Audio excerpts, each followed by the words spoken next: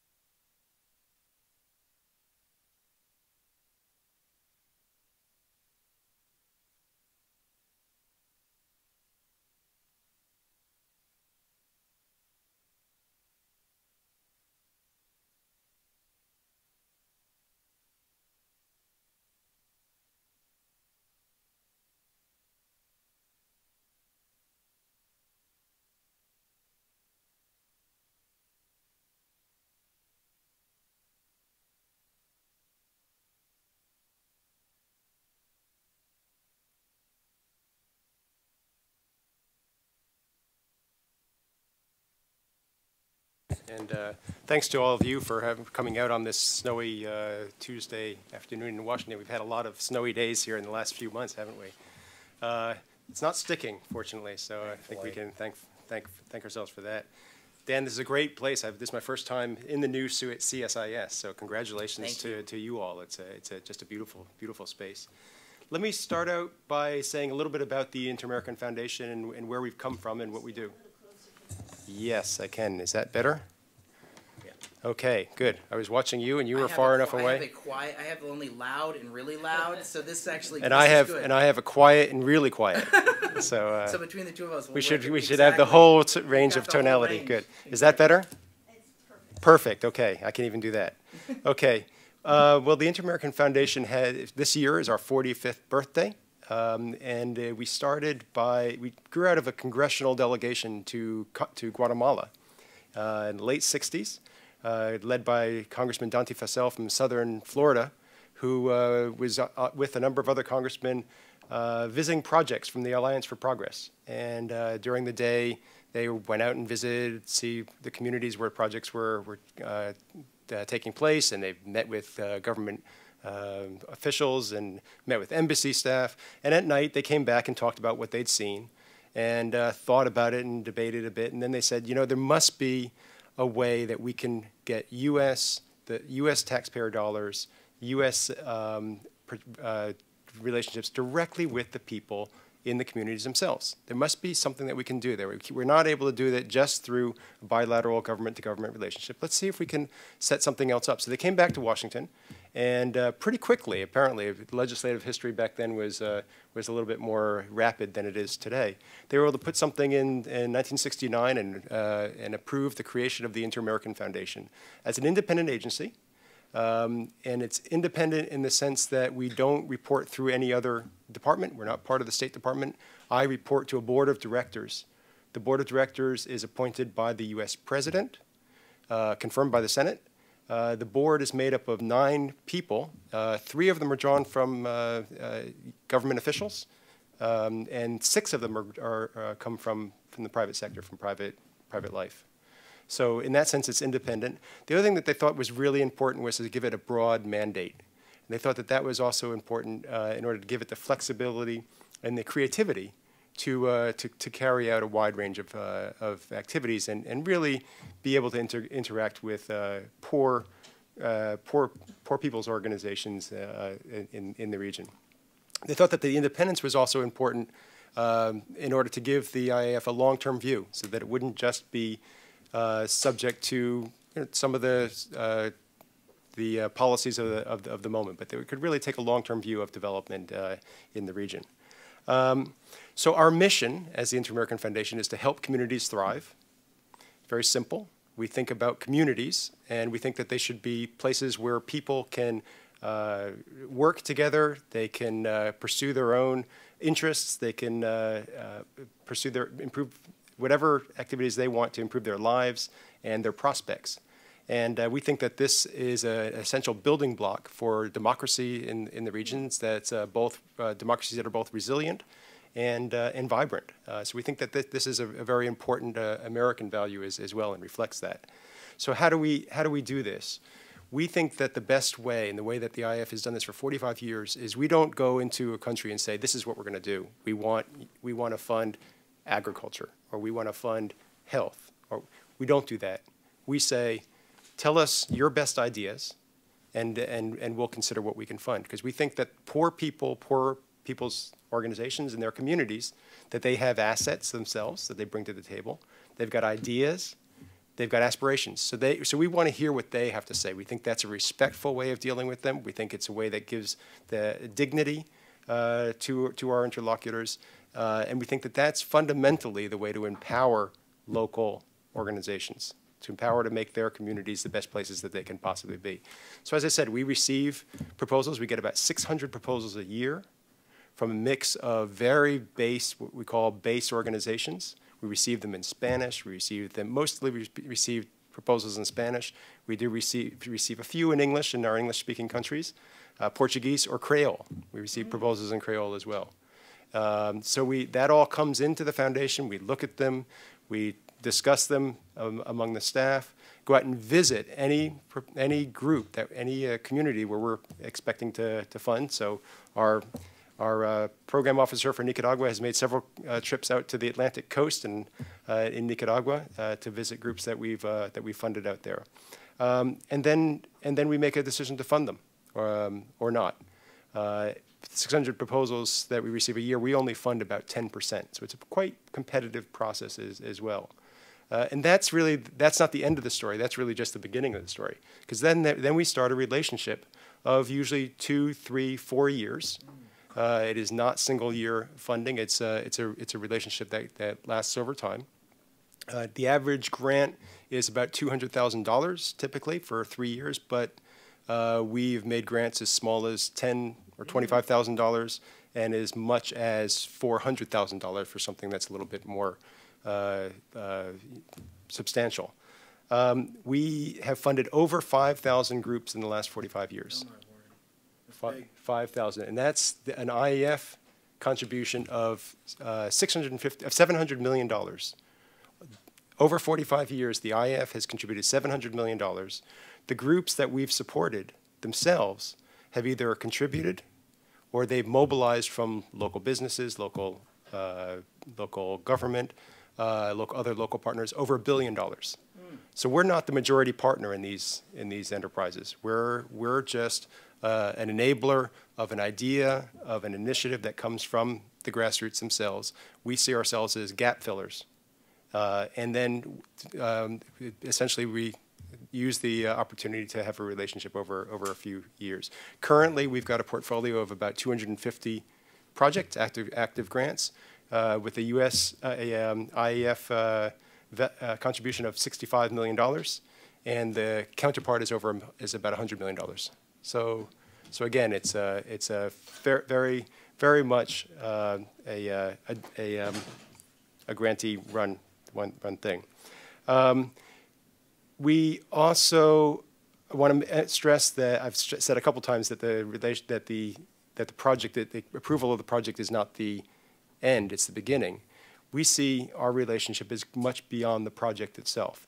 Yes, we have projects with goals, we've got objectives, we've got activities, we've got indicators, all of those things. We've got we know exactly where the money's going, and I can talk about the uh, auditing that's that, that we put in place. Every grant gets audited every every year by a certified audit firm, local audit firm. We have results, uh, reports, and, and all of those things. But fundamentally, what we're investing in is the relationship with the organization itself because we believe that building the capability of these local organizations uh, will yield benefits that go way beyond what they achieve in this individual project. We're trying to help them to build the capability to do things beyond what, what they do with us. And uh, part of what we've done in the last few years is we've gone back and visited uh, communities where projects have uh, been carried out five years after we've finished our funding, just to see what's, what's happened. And it's a very interesting uh, experience indeed to see how things have either morphed and expanded tremendously, or in some cases, you know, fallen apart. Um, but, but mostly have, have, have improved. Um, the last thing I want to say is that in addition to the money that we give through a grant, this relationship I keep on coming back to is super important in the sense that we build relationships among the grantee partners. So I just came back from Peru last week. I, I spent a week in Peru visiting several different uh, partners, and we, one of the things that we did there is we had a two-day meeting of all two dozen grantee partners in the country, where each, each one of them, most of them didn't know each other. Mm. They had no reason to know each other. They're working in many different parts of the country. We brought them together, and they told a little bit about what they're doing. Ten minutes, just enough to whet the appetite, and it's very hard. Speed dating. It's very it's speed dating. It's very difficult to get a group that's been you know this is they're putting so much energy into this to to keep them to just ten minutes. But that was enough to to really spur an incredibly rich and vibrant conversation among the groups themselves. Uh, and uh, so you have a group that, that focuses on, on uh, agro, agroecology. And they're hearing from a group that's working on uh, persons with disabilities. And, and it's actually being, uh, the, the project is being presented, or the initiative is being presented by a, uh, a blind woman. Um, and they're starting to come back and they're thinking, well, there are actually people, persons with disabilities in my community. Hmm. And we're, are we really tapping into all of the resources that we have in our community in agroecology? Are we taking it? We, now we see how, how uh, capable people are. Uh, can, can we actually take advantage of that in our community? So it's really a, a, form of opening people's eyes to the opportunities that they have in, in, their, in their communities that they may not even be aware of. You know, sharing experiences among women who are doing Andean weavings up in the in the, in the Sierra. You know, again, they're learning something from, from groups that are working on, on coffee, et cetera.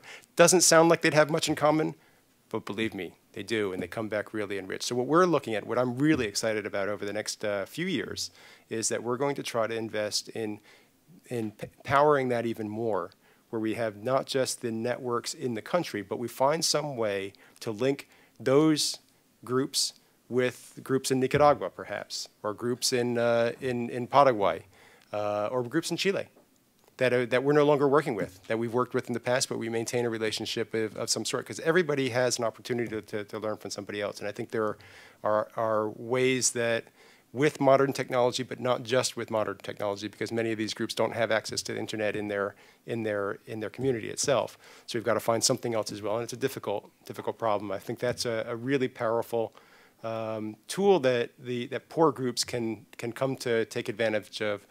Um, just like uh, rich people have learned to take advantage of networks and and, and and the like. So that's where I think uh, that's one of the things I'm excited about. I'm excited about a lot of things actually. We can get into some of some other things I guess in the in the Q and A. I don't want to take up too much time with a, an opening statement. So, Great. Dan, go ahead. I'll turn this over to you. We'll just share the microphone. We'll share it. and It it should be, I'll- I'll- it should be yeah, more this side. Yeah, two-thirds. right. That's probably, So, tha- thank you, thanks a lot. I, I think, could you talk about, in particular, that Red Amer, Ready Americas, Red Americas, and what is it? And, because I think you touch on it a little bit earlier, just, just in a little bit more Yeah, detail, what is yeah. that? And so Red America is a, uh, a network of corporate foundations, Latin American corporate foundations, that the IAF uh, helped to create uh, over 12 years ago, I guess, long before I, I came to the foundation. And uh, it really grew out of some work that some foundation program officers had with corporate foundation partners in a couple of countries, and there are about a dozen of them, I suppose. They came together and they started thinking in maybe one or two countries. They said, is there something that we can learn ourselves uh, and about how to do better grant making for development? Uh, transforming our foundations grant making, uh, not just not to not just focus on you know shoes in in the local orphanage or a, theater or painting a school or something like that, but do something that really is much closer to what the IF is talking about with grassroots development and empowering uh, uh, communities. So they came together and uh, started talking about it, developed a, uh, with our support, developed a whole approach, took on board our evaluation methodology, uh, ended up also creating a diploma program at the Tecnológico de, de Monterrey, the mm. Technical Institute, I guess you translate that Technical Institute of Monterrey in Mexico. ITAM. No, not Etam, the Tech, the Tech de Monterrey, Okay. in Monterrey. And, um, and uh, now they've, it's a network that's grown to over 80 members from 11 countries in the region. Some companies we've heard of, I'm sure. Some companies you've heard of, some, some you've never, never are heard some of. of the ones that you, that we've heard of? Well, there, there's a local Walmart in Brazil Yeah. is, is one. There's Votorantim, and uh, maybe you haven't heard of in Brazil. Is, Odebrecht? Odebrecht is, is a member, that's Okay. right. Uh, so there's a number of uh, corporate foundations. Arcor in Argentina? Arcor, Yeah. Arcor, um, Holcim in uh, several different countries. That's a Swiss company, Yeah. but it's got this local, Yeah. uh, local branches, and they've all set up foundations. So now some of the things that they're working on and we're working on with them is, well, how do you bring this practice or this experience working in communities? Because the foundations, these are community, these are corporate foundations. The staff of the corporate foundations have learned to work with community members, but not necessarily the corporation. So how do you infect the corporation itself in their relationships with community with this view of what is it, what is uh, the behavior and the procurement uh, practices and the employment practices, and so it goes beyond just philanthropy, and it really becomes much It's- more it's- about It's linked into their business. to their business. It's not just corporate corporate social responsibility; it is business. Um, Yeah, I mean, there's a lot more, it's become a lot more complicated, the concept of social license to operate and how right. you engage in a community and what your brand is in terms of attracting either people to come work for you or stay working for you and what, what, how company, how your company is perceived is, you know, is a lot more complex and the stakes are a lot higher than it was. So Red America is a, is kind of a fervor of thinking about that. It's- And so it's, it's a network, and they're, they charge membership dues. They have, they have an annual meeting. I'm going to their annual meeting next month in, uh, in Chile. Uh, They also have uh, seminars from time to time in different countries. As I said, they're in 11 countries. Fantastic. So uh, it's, it's up and running, and they're, they're now in a process of strategic planning that we're supporting. And do you to think continue to about- write checks uh, to No, Red Americas? no, we don't write, che- well, we're, we are helping them with their strategic planning So exercise. it's not a, it's not a money relationship, it's an expertise At this point, it's, at this point, it's a, it's a partnership relationship of, uh, of expertise That's and great. thought I mean, partner. that's, that's what it should be. It's about, it's about, it's evolving, it's like you said, it's about the relationship as opposed to, money's a part of it, but it's about networks and people and ideas. Right. What we have done and we continue to do from time to time is partner with some of the members of Red America, Sure. the corporate foundations. If we want to try to reach into very small communities that, Sure. where the corporation has got a presence, and uh, with grants of, you know, fifteen or twenty-five thousand dollars, we can partner with them. We put in a dollar for every three dollars that they put in, and al- allows us to really get, a- have a presence in some of those communities that, that can then blossom into something else. Can you talk about, um, you talked a little bit about successes and failures. Uh, we were talking a little bit in the pregame about successes and failures and how the Inter-American Foundation thinks about successes and failures, how it does evaluations, how does it, and also how does it share learning, but how does that impact your grant making going forward? And how do you share that with others? Right. So we've got a very elaborate system for, for tracking results. Um, about t- 15, 20 years ago, uh, before the current wave of uh, enthusiasm for, for And there are evaluation. fads in the business, right? There are mean, fads. I've We- been a beneficiary of several of them myself. I'm sure, so- I'm sure. We started something called the Grassroots Development Framework, um, which essentially, I think there's a handout somewhere uh, around for that.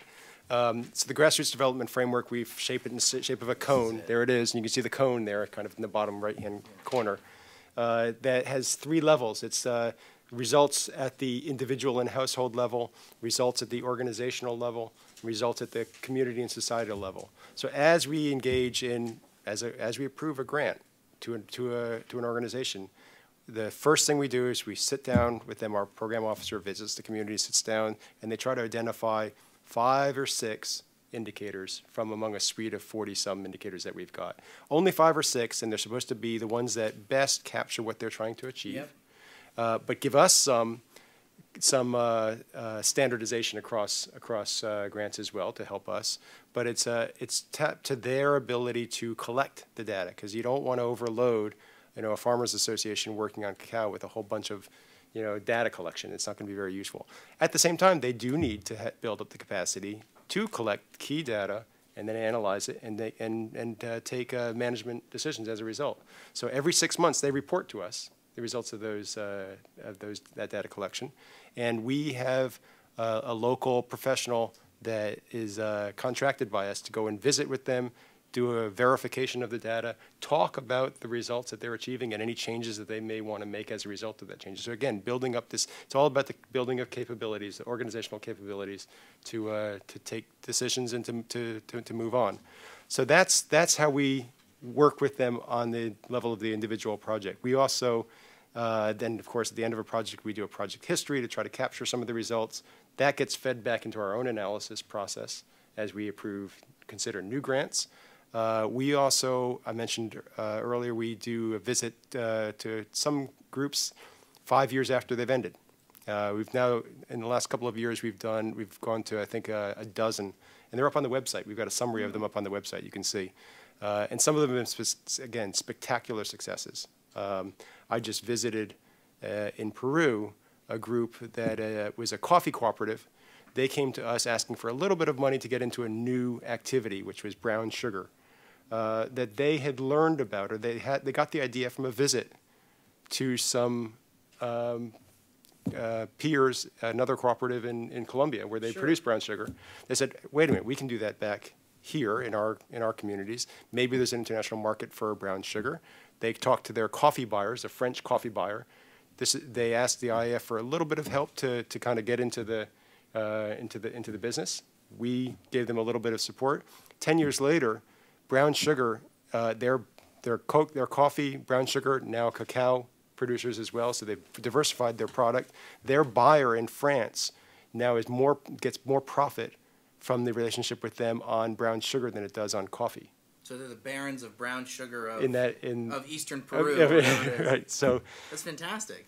so that's that's one of the success stories on on the you know five years after. We wouldn't even know about if we didn't go back and, and visit. That's a on the other hand, story. On the I, I can tell some some failures too, but maybe I maybe I'll save that uh, yeah, for a keep little that. later. Let's see. I like upbeat. I like Upbeat, the, yeah. the, the, the talk, You know, you do learn from failures as well, and I think that's something. that book. Yeah. So the IF back in uh, the, uh, the IF The 70s. back in the seventies, in the, in the mid seventies, after five years of operation, the uh, staff this is unheard of. I don't think I could do this today, but uh, the, the IF closed its doors for a few months, and uh, decided to just sit, gather information about what it is that uh, had, they'd learned over five years of, of uh, grant making, the first five years of grant making, and wrote a book. Wrote a book. Uh, it's called They Know How. It's kind of emblematic of the I, the IAF's uh, philosophy that it's the groups themselves that know best what they what they need and what their priorities are. And uh, the last chapter of that book is uh, ch- is titled "The Foundation as a Learner," because the foundation was set up to be a learning organization before we even knew it, before we even Use called that them use that term. Uh, and it was learning from failure, and talked about the failures of grant making. Now nobody does that anymore. Maybe people are starting to talk a little bit about failures, but we're kind of careful to talk about failures uh, too much. But selective failures. selective failures and only things that then turn into successes. Although that is something that they did point out It's that like sometimes those college essays, right? Like, what are your weaknesses? You Right, say, well, exactly. I work, you know, I work too hard. I'm a- work I'm too a hard. workaholic. I'm too hard on myself. Right. Um, but they, they came up with some wonderful typologies of failures, like the uh, like the Lawrence of Arabia uh, syndrome, and after that, the uh, you know as grants were being reviewed for a number of years in the foundation, they would say, no, this looks like it's got the signs of the Lawrence of Arabia failure, which is a grant that is based on a bet that's based on an individual charismatic member of an organization, and yeah, it's going to work as long as that person's there. But as soon as that person leaves, there's a, a risk that everything falls apart. We know that's, of course, uh, that that's the case. So we think about that very clearly when we're considering a grant. We ask about the governance structure of an organization that we're working with. What are the what are the what, are the uh, relationships of the different members of the of the board, of the staff, to the to the, the founders of an organization, whatever it may be. If it's a cooperative, how do they how do they transition leadership? Um, so that sort of thing. Another founda- another uh, syndrome is the uh, artificial insemination syndrome. Uh, they all have great That names. very all- interesting. What is that? well, I think it has. Don't get excited. I think it has something to do with animal husbandry, uh, and it's uh, it's uh, it's the an idea that came from an outside group that they said this is a great idea. This is a you know a new product or a new process or something. These people in this area you know would benefit from that. Uh, fund this, and the IF funded it because in some cases because it seemed like a good idea. but in fact, it completely ran against the reality because it wasn't something that the communities themselves, you know, resonated with them. It con- confronted something that was em- embedded in their own uh, local ways of doing business or, or, or, or culture or practices or, or assessment of risks. So, you know, again, we recognize that it's not, it's not rocket science. That's something that, that we've seen uh, over and over again in the aid business is funding something that comes from the outside that doesn't really um, um, take, take, a, take, take a account of the, of the local context. We, we were talking about the evolving situation in the region and being a learning organization. Could you talk about the IAF's thinking about poverty? We were having this sort of this, this very interesting conversation before about how governments in the region are thinking about how to address poverty and sort of let's call it a government, a national government to local government model that perhaps doesn't take into account that that perhaps doesn't necessarily bring communities into it or or, or, or talk a little bit about that because I thought that was a very interesting So- insight. So I was making the observation before we, before we came into the room that, um, um, that uh, there, there's been a lot of success in Latin America in, in uh, reducing poverty. Uh, It's. In the last 10 years In the last 10 more, years, you can, you can see it. The late rates have come down. in Brazil, you know, it's a success story in some respects. And a, a lot of the way that has happened is through vertical programs that come from the, the government to, some of these are conditional cash To the transfers. provinces or to the No, to the individuals, to Oh. individuals. So to individuals in exchange for participating in a, uh, health assessment program or in a, at going, keeping their kids in school. And these are very effective at uh, eliminating, at really putting in place the right incentive to invest in human capital of the, at the, at the family level. My observation was that is great as far as it goes. Uh, but it, I think it needs to be complemented by investments that really build community. There- There's, I don't see the same sort of attention being paid to building the capacity of people to work with each other to achieve a common end. Uh, and I and I worry that some of the that many of the programs are really uh, too focused uh, uh, by being only focused on the individual and not being focused on building the kinds of uh, civil society and social capital that we see is so so important. That that's uh, that that in fact it's it's it's more fragile than it than than it would otherwise be. So I see that as something that the IAF does very well by focusing on the collective um, the ability to work together.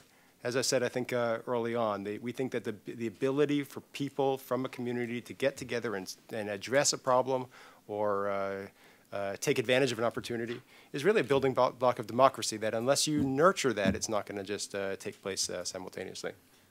I think, if I recall correctly, Dante Fascell had was is fondly remembered for many things, but one of the things that he's remembered for is being a proponent of democracy promotion, if I recall correctly. In terms, of, I think he's one of the founders of the National Democratic Institute, among Okay. others. Can you talk a little bit about your, just to go a little bit further about this relationship with democr- democracy or democratic accountability? How you So- a little bit further about this? Right. So we, we do, some, some of the groups that we fund uh, do participate in participatory budget. Uh, That's a, it's a, it's a wave that has really taken off in many countries of the, the region where you have budgets that are being decided at the municipal Yep. level. Um, And Peru, I was just in Peru, another example from, from, from Peru, where there are lots of resources that come in part from royalties from Yep. mining Yep. that are, that make the uh, municipal governments or regional governments awash in, in resources. And there are rules for applying them, and it needs to be a participatory process for setting the priorities. So we're supporting a number of groups in Peru that are participate at the municipal level that are, that are working with these roundtables to try to set priorities. And one of the farmers, I mentioned this coffee cooperative, that is now a sugar, brown sugar and cacao cooperative. One of the farmers i that, that I met as I was out in this tiny little town um, is on his local participatory budgeting council. This is, a, this is, I don't know if he's illiterate, but he's a very, very humble farmer, has, had never really spent any time out of that area, but he had an opportunity to participate in setting of budgetary priorities for, for his, uh, for his area.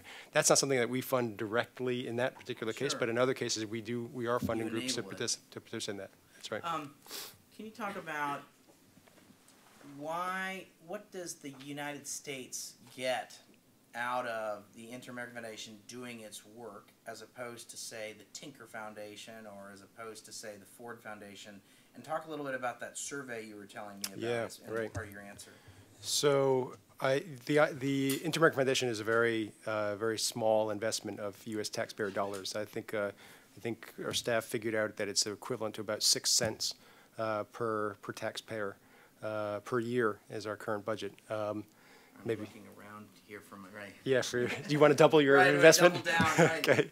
Um, So one of the things that That really is nothing. I mean, six cents per, that's great. Yeah. So one of the things that um, that we were trying to get a handle on is, as we talk with our our um, the you know, our oversight committee on on Capitol Hill, is well, what are we getting for this? What you know, is there a a um, an advantage to the perception of America in, in, in the region, for example, apart from all of the the development benefits?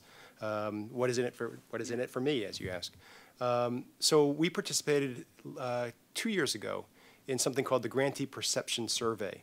It's run by a group uh, called the Center for Effective Philanthropy. That's a very good group. It's in Boston. It's in Boston. Yeah. That's right. We're the only government agency. At that time, we were the only government ag- agency ever to have participated in that survey. I think probably we still are the only one. Um, and it's a great survey because if I send a survey out to my grantee partners, I'm going to get feedback, and it's all going to be great. They're going to say I'm great. Go, oh, you know, you're you, everything you do is right. You know, you're Give so smart. You know, blah blah. Right. So the Center for Effective Philanthropy thought one way to get around that is to have a standard survey that we send out to, you know, a bunch of foundations. So not just the Inter-American Foundation, but to the Ford Foundation's grantee partners, or the MacArthur Foundations, or the Gates Foundations, or you know. So there are, I think, 300 different foundations that have now participated. Some work only in the United States, some work internationally. And then what we, what you do is you see how, or they do, they, because it's confidential, they, uh, they compare our grantee partners' responses to the grantee partners, to the grantee responses from other foundations, and then see where are we above, where are we below, where may we want to, to think about making some, some changes as a result. It's not a strictly scientific comparison, because of course the grantees are different for us than they are for these other foundations. Uh, they're, they're, they're, they're quite different in nature, but also different in, in, in specifics. But uh, we had a 74% participation rate, which is really high. Uh, amazing, really amazing. How, how much is a seventy-four percent? So, so It was, uh, fifty? No, no, it was, we, I think it was of 250 grantee partners, I think, so 74% was, Oh, you do the math, it's 150. 150. So it was a Great. very high a very participation high rate. number.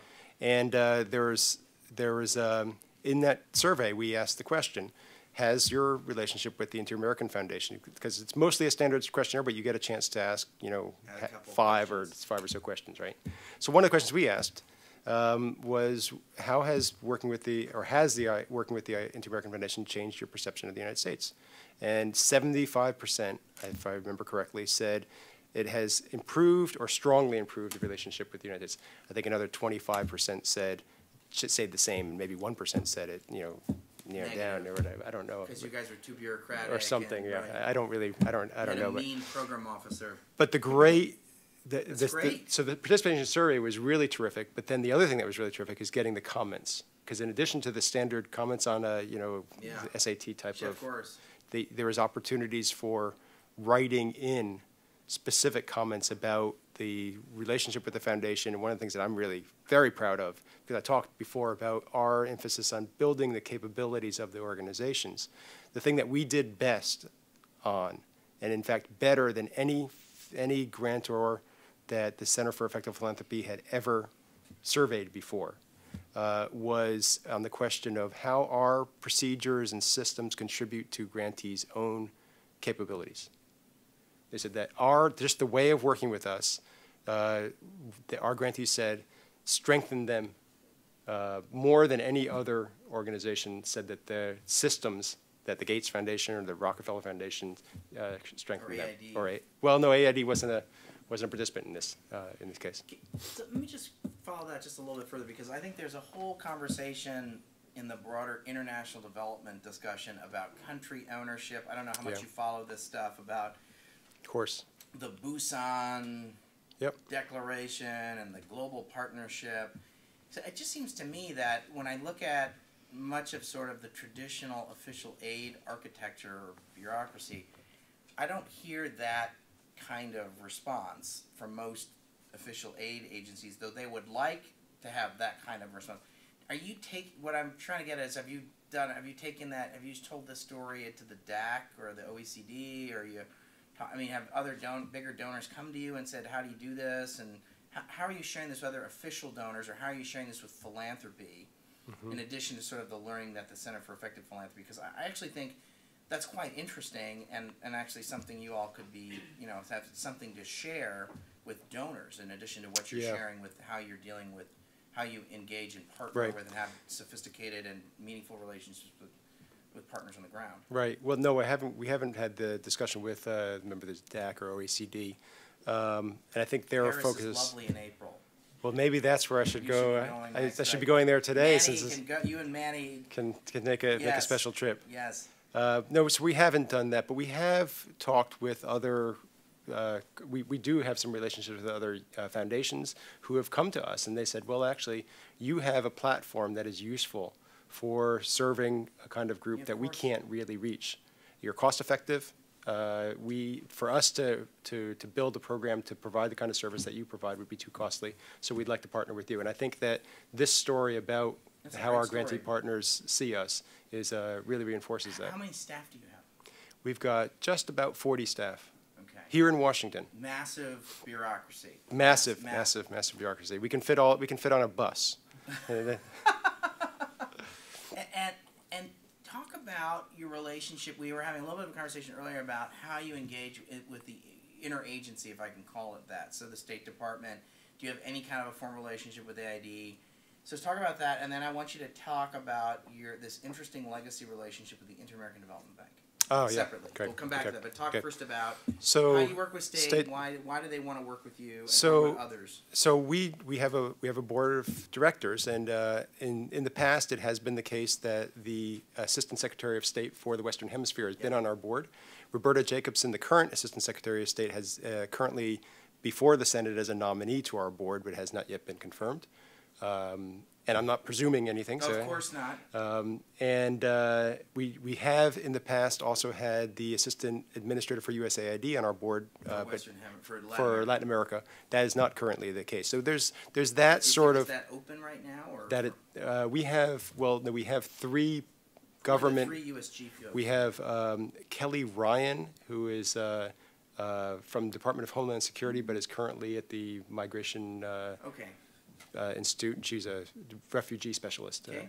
Um, and then we have two open ones. One is uh, Roberta, Da- Roberta Jacobson. They're not designated as state per se. It Okay. can be anybody. The president has free discretion to name anybody. In fact, uh, Bill Reilly from the EPA was on our board. Really? Uh, Hattie In, Babbitt in Bush 41. in Bush 41. In Bush 41, yeah. He was the Right, head of he was the head of VP one. Uh, So we had, the That's president really can choose who he wants. And that's why, in this case, Homeland Security was, uh, it's more the, I think, a confluence of interests and, and specific issues. Uh, And Mark Lopez is also a a He's a current nominee. great guy and hope he gets confirmed. Don't want to want to presume anything, but he'd represent us very well at the as USCD At the, at the, at the Inter-American Development Bank. So that, that, those are our three, uh, uh, both current member and, uh, and and nominees. So, so just so So, so, so that's, that's one way that uh, we have a relationship with the State Department traditionally. But also, the State Department, the, the, um, came to us and said, look, we don't have the ability to work with uh, um, groups that, um, of, um, on social, on social inclusion. Um, So they had a, pr- a program that they were, they had committed to, the U.S. government had committed to as part of the Summit of the Americas, one of the last Summit of the Americas. I can't remember what the program is called. It's got some acronym that I do remember, but I, uh, but I don't remember what, how of you spell, acronyms in the spell it out. Right. There are. And uh, so they asked us to carry it out for them.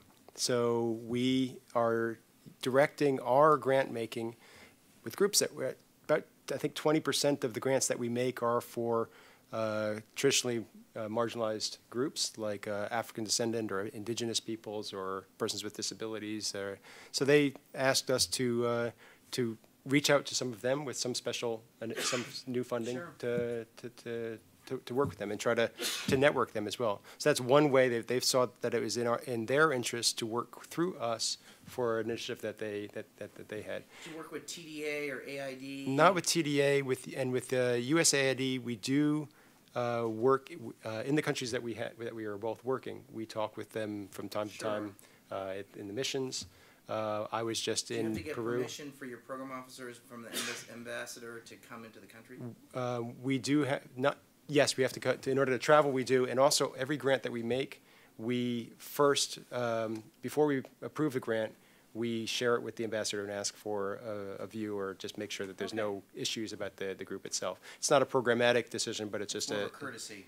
it's a courtesy, but it's also useful for us if there's any, any They concerns they have- about they that, have- They have tacit knowledge on the ground that that we wouldn't can't, that we wouldn't necessarily have. So it's a protection for, for us as well.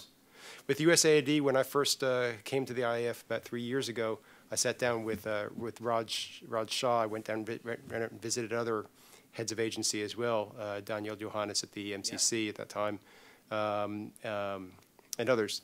Um, and uh, Raj had the idea that we should come up with a joint statement about how we complement each other. So we had our staff sit down and work that out. And at that point, Raj was talking about um, procurement reform and working with local groups. Was intrigued by the You fact that guys we were have an already experience of doing that. That's the sort of what was leading to my question Right. earlier. So, so we, we've shared our experience doing that. In fact, what we think the complementarity is, is that some of the groups that we work with are very much more basic than some of the groups Yeah. that they could possibly have a, a contractual relationship, because they're agree. talking about it as a contractual relationship course. rather than a grant, uh, making relationship. But they can eventually maybe take on the, uh, the role. And so in this grantee exchange that I mentioned in, in Peru, a local USAID officer came and gave the spiel about this is what USAID does. This is, uh, you know, there may be opportunities for, for, for you if you're within these narrow, you know, defi- narrowly defined areas that, that USAID works. So we do work with US other government agencies. We also are a participant in the President's Partnership for Growth Initiative in, uh, it's in four countries. One of them is in El Salvador, uh, a couple of years ago. Um, and Is Peru also one? No, there's no, other, there's only one in Latin Okay. America. I can't remember where the others are. It's Ghana, Philippines, and somewhere else. It's definitely Philippines, probably Ghana, um, but I don't, I don't I recall. remember the fourth one. I was focused on There's Latin a America. prize for the, whoever remembers the fourth one, but, but we'll come back to that. We can come back to in the Q and A, but, but, so, go- so El Salvador. So we were participating in, with all of the agencies that are do, that have, uh, programs in El Salvador. And our program, we present as contributing to, I think, the, the, one of the two pillars. Uh, mostly the pillar on, on, uh, economic development, on, uh, uh, community businesses. Uh, but we have, we're, carrying out a chronic violence learning project, so we're also sharing some of the lessons that we're trying to learn together with our grantee partners about violence in their communities. Talk about this really interesting legacy relationship with the Inter-American Development Bank. Right. I was fascinated. So it's, uh, it's less a relationship with the Inter-American Development Bank than we're the beneficiary of a, trust fund that the U.S. government set up at the Inter-American Development Bank over 50 years ago to, to uh, make loans, uh, low-interest loans to Latin American governments uh, alongside the Fund for Special Operations of the Inter-American Development Bank. And as those funds reflowed back, both principal and interest, reflowed very little interest, but uh, principal mostly, they have, have come to the IAF for the last 40 years uh, to fund a portion of our program. So our, currently, it's about $5 million a year. There's very little money left. It's, you know, the trust fund that was set up 50 years ago. Uh, the, I think they're mostly 50-year, 50-year loans. So that's just about to run out in the next few years. Uh, But that's, that, that's the, the legacy. So every year, we get a little bit of resources, and that can only be used to fund projects in countries of Latin America. That can't be used to fund any of our uh, staff costs or, or, you know, our, our But it's significant. But it's, yeah, it's about $5 million a year these days. it's real money. It's real Yep. money. So last question, uh, we've been talking about the evolution of the region. You talked a little bit about that earlier. And I, I we were having this discussion earlier at, beforehand. How, how do we, how does the Inter-American Foundation evolve with the countries as they get wealthier? And how does, what does it mean for the Inter-American Foundation to be involved in a country like a Chile or a Costa Rica or maybe a Brazil, where it may not be about money, and it was never real. And, and to some extent, we were having this conversation. It wasn't necessarily about money all along. It was sort of about that was sort of a vector of ideas or a catalyst for getting something going that others kind of step into. But how I know you're thinking about this, hmm. and it doesn't have to be a resolved answer. But we've done some work on middle income countries and thinking about it at a state to state level. and I thought your point earlier about this isn't necessarily we're not you're not in the business of state to state. You're in sort of a the social capital business or the the individual building uh, individual accountability or sort of a, a grassroots form of democracy, which I, I agree I don't disagree with. So talk a little bit about how how you think about that as these countries become sort of follow the path of a South Korea, and they're not necessarily a South Korea yet. I was just in Seoul two weeks yeah. ago, and it was jaw dropping. So I know we're mm-hmm. we're not there yet, not but there. I, we can always hope. But I think we're going in that direction in a lot of places. God willing, Chile and Costa Rica are really impressive. I mean, they've made incredible strides. The region's made incredible strides. So I know that must be on your mind. And how are you thinking about that? And how how what is it? What are you hearing from your your grantees about this? Yeah, well, I think a number number of things. I think uh, that's where the a network like the RedEAmérica network comes in, and particularly in a country like Chile, we have a very small program. At this point, we're just working with a couple of RedEAmérica foundations to help them to make the to, to, to really get their heads around doing grassroots grant making like uh, like we do. But we're not going to continue doing that for very much longer. So in Chile, for example, we're thinking we're looking now. Well, what what do we want to do next? Uh, and what are we what what would be appropriate um, for the next five years. And that's where I come back to my comments earlier about the network. Um, we have 250. We, we worked with 250 groups in Chile over the last 45 years now. Some of the groups are no longer in existence. Some of them wouldn't be interested in participating with us. But that is a huge resource that is waiting to be tapped and, uh, and, and, and for the benefits of themselves for Chilean civil society more broadly and for others, for others to be able to learn from what they, what they have done in, in Chile uh, on a whole range of issues. So by themselves, it's, it's not, not enough. Um, but if we can plug them into a, a region-wide network and start getting exchanges, you, you, can have an exchange from the country that you have no, a special fine, fondness for, Argentina, with, uh, with some Chilean civil society organizations that are working on issues that, have, that might be appropriate. So that's one way that I think about how we might work in a country where we're not going to do the kind of responsive grant making that I talked about before. We're not, at this, these days, we don't, uh, we don't get many proposals from Chile, but in fact, in Chile, we wouldn't, we wouldn't just respond to a proposal from a, from a grassroots group per se. We're going to be much more directive about how we, how we work there. Other countries will continue to be, follow the same responsive model, the Central American countries, a lot of places in, you know, in the Andes, et cetera.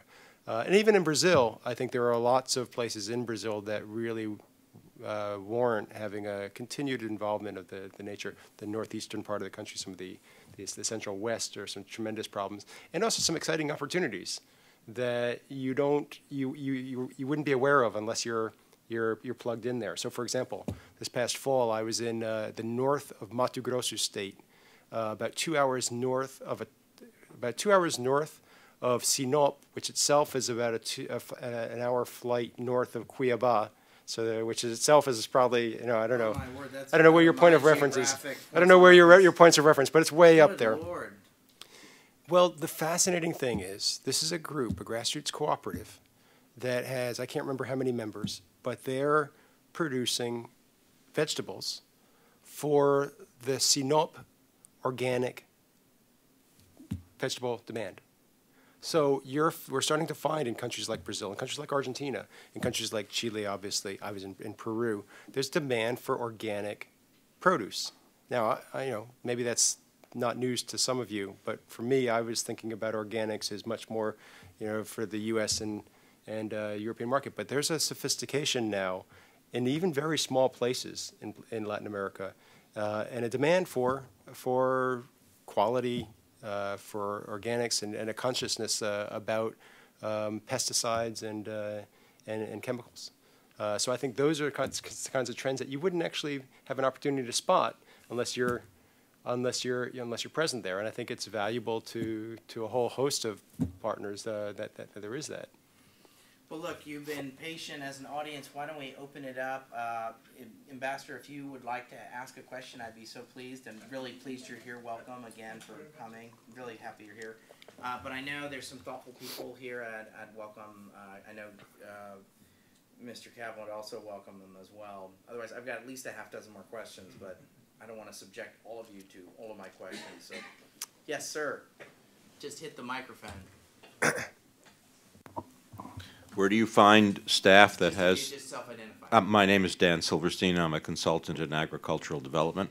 Where do you find staff that has the uh, special character that it would seem that it takes to uh, handle such nuanced and uh, precise kinds of projects? It's a, yeah, it's an interesting question. They come from all backgrounds. Uh, I, th- I assume you're talking principally about our program officers. Um, um, they come from a number of different backgrounds. We many are former Peace Corps volunteers who then worked maybe worked in a in a nonprofit.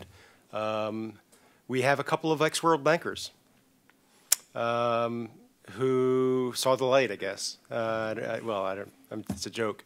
My, all my friends at the World Bank. Um, so I, I don't. I think that there's a there are a lot of people who have that sort of special vision of respect and and uh, and working with poor people to to empower their organizations. I think when they come into the organization, they they're, there's they get steeped in the in the in the culture as as well. Um, there, we have uh, it, it's wonderful. Every year we have a whole crop of interns, young interns that are working doing work at George Washington or American University or Georgetown or you know, mostly local universities, but even universities far farther afield. Um, they'd, they'd love to, to work with us, and we'd love to have them working with us because you know we are a small agency and you can always get the extra capacity. So I think that that's another uh, group that you know several years down the road when they gain some experience doing something else, I expect to see them uh, rotate back in. Our vice president for programs currently, he he describes himself as a recidivist. He was a program officer at the foundation back in the mid 80s, then left and went to work at the Ford Foundation, a number of uh, other uh, both grant makers and Grant takers. grant takers. Uh, and then it came back. I, I hired him back uh, uh, a few years ago as a vice president for programs. So from all, all, all over the place. Let's see. Sir. My name is Donaldo Hart. I'm actually Brazilian from Goiás, not too far from Mato Ah, Grosso. not so far. Good. But, um, do So you, you've been to you've been to Sinop. É, é, um pouco longe. Um pouco longe, sim. Um, do you provide technical, in addition to program officer orientation to your grantees, do you provide any form of technical assistance? That's an excellent question. So the grants that we make include the, and and they're transferred to the organization themselves, and often it's for them to acquire the technical assistance uh, that they need, the technical expertise that could be available locally. Sometimes they, th- when I mentioned that they put in or mobilize resources from others, sometimes that's um, um, in-kind support from a local um, extension agent uh, or, or something like that. So there, a lot of that is built into the, the grant itself. In addition, we have um, contractors in about 15 country, about 15 contractors spread spread around that facilitate uh, the identification of other kinds of technologies. They don't provide it themselves necessarily, but they're in some senses our eyes and ears, and they can help to connect what's most valuable. If they need technical assistance from somebody else that is doing that, another grantee partner, we can facilitate the, the trip. Because you know one, one of the things that we find is that more valuable than somebody than giving somebody a uh, you know a lecture on something uh, is give taking them to see how it's being done elsewhere and that spurs a whole host of questions that, that it's just a much more effective learning process. So that's what we try to do in the country or as I, as I mentioned, in, in other places. We've, uh, we um, facilitated a number of people from all over the region going to um, Brazil, southern Brazil, about a year ago for the Ecovida uh, conference that you may, that you may know about. Um, and that was a, and that's led to sustained uh, long-term relationships among Mexican, Peruvian, uh, Honduran, um, and, and Brazilian Brazilian groups. Sir. Yes, uh, Michael Gill from Global Giving Foundation. Hey. Formerly with um, Global Fund for Children Latin American Department for six years. Um, My question is, uh, what's your uh, offboarding process for organizations you've worked with for four or five years? What's the transition period like when you know a project's going to be ending? Um, it's a good question. Um, I don't think that we we don't have. I don't know that we have a structured process that, you know, I could lay down in, in a, in a manual. But what typically I think happens is that as we get, you know, close to the end of the, the project, things uh, do wind up. As I said, we don't think about the project so much itself as we think about the relationship. So there may be some legacy things that go on after the, the money itself is being transferred in terms of, you know, we, they will continue to invite them to grantee uh, exchanges, uh, even though they're not a current uh, grantee, or there might be something else that they may ask us to, to, to help them to su- support to visit some, you know, someplace else. Uh, so there's, there's some of that. Um, sometimes we press them into service as, as trainers or as uh, technical assistants, as, uh, as previous uh, questioner asked. Um, we also are very attentive during the course of the project to what is the likelihood of sustainability, and we're asking the question: How are you going to sustain this after, you know, the, our minority partnership ends? But how, how are you going to sustain it? Um, and that's always a challenge. Um, but uh, they, they're, they're looking at a lot of, depending on the, on the topic, of course, there are lots of creative ways to, to continue on. Occasionally, we, occasionally they do come back and get, and ask for another grant to do something else a couple of years later. We don't usually do it, we can, we can extend uh, a, a, a grant um, if we think it's warranted. Um, once it stops, we don't go do back-to-back funding, but we'll let it lapse for, let the relationship last for a couple of years in terms of funding, and then sometimes we've come back and, and funded something else. So this coffee cooperative that I mentioned where we finance brown sugar, they, they're currently, uh, a, uh, working with us on cacao.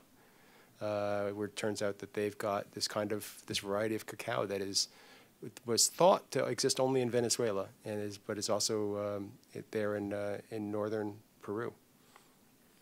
Great, other, others? Well, Mr. Kaplan, why don't, I- I'm just wondering if you might wanna just share some either just parting thoughts about the Inter-American Foundation and what it, why it, why it matters for, why, it- why it's valuable for the United States to continue to support it. Cause I, I, I think you've, you've, I think very well described that and very articulately so, but just, just for the, if you would, just for the record. For the record. Just for the record. This is not a congressional testimony here. Yes, sir. Yeah. Well, I, I think that, uh, I mean, as I've said uh, earlier, I think that investment in the Inter-American Foundation, the work that we do is really pennies on the dollar. Um, it's a great investment. It's cost-effective. It is direct to, it's building direct relationships with people on the ground that gives um, us an insight into what is happening on the ground and also an ability to connect groups that otherwise couldn't uh, couldn't connect with uh, with themselves. It's uh, uh, it's complementary to a lot of the other work that is being supported with USAID or with the State Department or or other U.S. Uh, agencies, and I think that we have something that we can offer to businesses through the through the RedEAmérica type of relationship, not just with corporate foundations, but with, with just really thinking about corporate business practices as, as, as well as they, as people really are struggling with how can corporations um, engage with communities in a way that really help them to thrive and, uh, and, and, and bloom.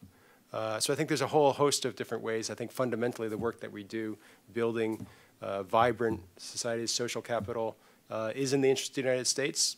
Um, so I think it's a, a good investment uh, for the U.S. taxpayer and through the U.S. Congress to, to continue to support. I love that survey about the, uh, the participants. It's really. I use it a lot. That sticks with me. Thanks very much. Please Great. join me in thanking Mr. Kaplan.